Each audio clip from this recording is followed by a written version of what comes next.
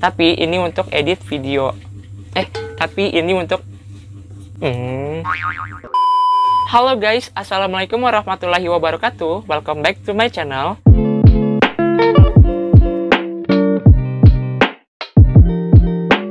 Jadi di video kali ini, aku akan share ke kalian tutorial cara mengubah emoji Android menjadi emoji iPhone di aplikasi Pixellab untuk kita mengedit foto guys. Oke, sebelum mulai ke videonya, jangan lupa untuk klik like dulu video ini, dan di subscribe buat yang belum subscribe, aktifin juga notifikasi loncengnya supaya kalian gak ketinggalan kalau aku upload video terbaru guys. Dan sekarang kita langsung aja mulai ke tutorialnya. Oke, jadi kalian klik link yang ada di deskripsi video ini, itu file uh, emoji iOS 13-nya. Nah, nanti akan diarahkan ke browser yang ada di HP kalian dan tampilannya akan seperti ini. Langsung aja kalian klik download yang warna hijau ini. Nah, ini sedang mendownload. Nah, ini sedang mendownload. Kalian tunggu aja prosesnya sampai selesai. Ini ukurannya 42,10 MB. Jadi ini udah selesai proses download emoji iOS versi 13-nya atau emoji iPhone versi 13-nya. Lalu kalian buka aplikasi file manager yang ada di HP kalian. Lalu kalian cari aja nama filenya tadi itu kan iOS. Jadi kalian cari. Terus kalau udah ditekan habis itu dipindahkan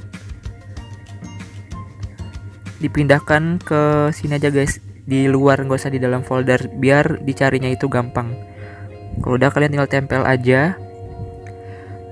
Nah ini udah. Pokoknya kalian sesuaikan aja dengan HP kalian. Terus sekarang kita buka aplikasi Pixellab-nya Oke jadi ini aku udah buka aplikasi Pixellab-nya Nah aku di sini mau ketik dulu emojinya. Oh ya guys btw di sini HP aku Samsung ya. Jadi emoji aku di sini emoji HP Samsung kayak gini. Nah buat contoh aku pakai emoji ini sama emoji ketawa ini terus ini aku perbesar biar jelas.